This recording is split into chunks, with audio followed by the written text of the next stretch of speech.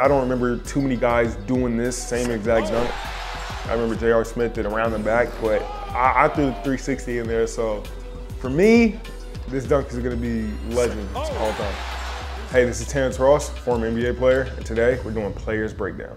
11 year career, known as a sharpshooter, high flyer, instant spark off the bench type of guy. 2013 dunk contest, my rookie year of all things. For me, this will always be like one of the most special things in my career.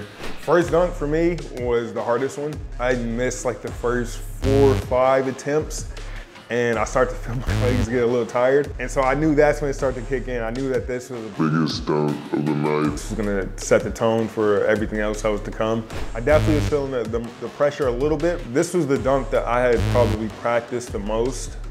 These misses are long. I'm starting to see the reactions on people's faces and Oh! and I think people were behind it just enough. You um, know, they gave me 50s. And I, I, mean, personally, if I'm watching this at home, I'm like, maybe I don't give the guy 50s on these different, you know, misses. But at the same time, man, I, I don't remember too many guys doing this same exact dunk. I remember J.R. Smith did around the back, but I, I threw the 360 in there. So for me, this dunk is gonna be legend all time. Second one, I'm definitely feeling better. And even at this point, uh, I think somebody else, I think either James White had missed a dunk. This is actually all improvised. This dunk I did right here, I had to do it with warm up on because I was saving my next dunk. I was gonna use the dunk I did next for this one, but when I saw that somebody had missed a dunk, that kind of gave me a little extra room to kind of save that for last.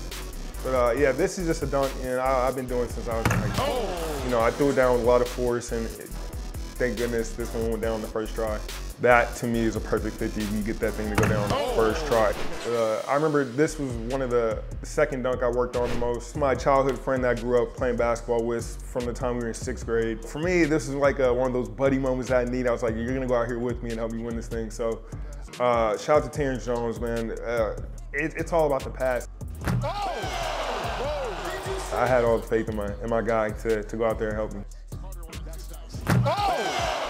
I, I, came up with this one. I knew that I wanted to go through the legs over somebody. So going into this dunk contest, I already knew the dunk. If I ever made to the to the championship, I knew the dunk I wanted to go to. Uh, it, it, worked out. Uh, it didn't take too long, so I, I, pulled that one off, and you know that was icing on the cake.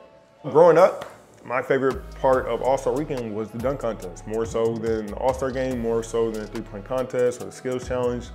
Seeing guys dunk was, I think, one of the things that always captivated me especially as a young kid. So having the opportunity just to be in the NBA and then having another opportunity to, to be a participant in the NBA dunk contest was, I mean, it's full circle, man. To know I went out there and did that was, uh, it was a great moment.